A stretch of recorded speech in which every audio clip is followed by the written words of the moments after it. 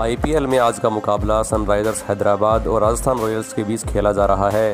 पुणे के Maharashtra cricket association stadium में हो रहे मैच में हैदराबाद के कप्तान केन विलियमसन ने टॉस जीतकर बॉलिंग चुनी है।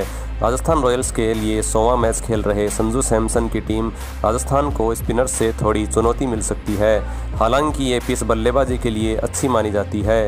दोनों टीमों की प्लेइंग एलेवन की बात करें तो राजस्थान रॉयल्स में Yashasvi Jaiswal Jos Buttler, Devdutt Padikkal Sanju Samson, Shimron Hetmyer, Riyan Parag, Ravichandran Ashwin, Nathan Coulter Nile, Yuzvendra Chahal, Trent Boult, Prasidh Krishna.